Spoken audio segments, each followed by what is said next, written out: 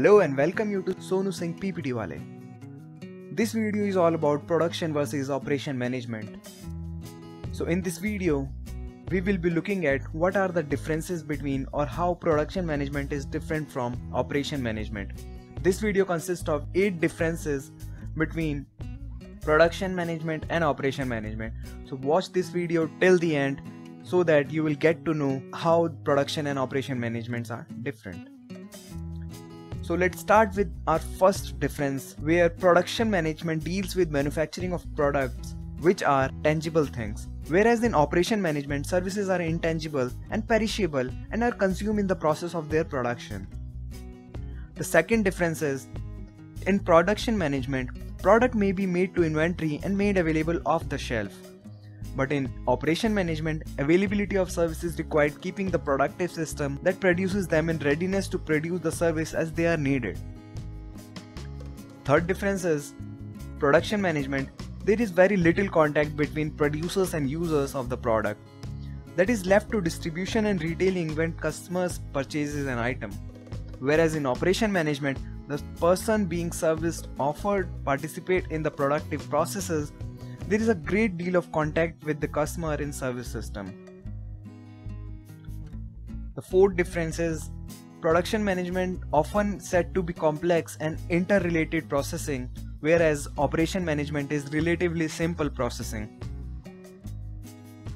Our fifth difference is the demand in production management demand on system variable on weekly, monthly and seasonal basis whereas in operation management demand commonly variable on hourly, daily, and weekly basis. Our sixth difference is in production management, the markets served by productive systems are regional, national, and international, whereas in operation management, markets served by productive system are usually local.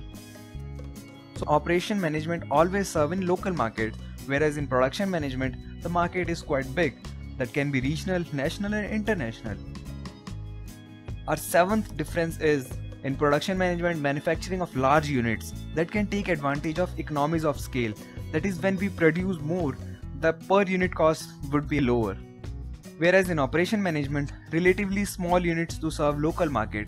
So here as we already discussed operation management only serve in local market. So manufacturing units are relatively small.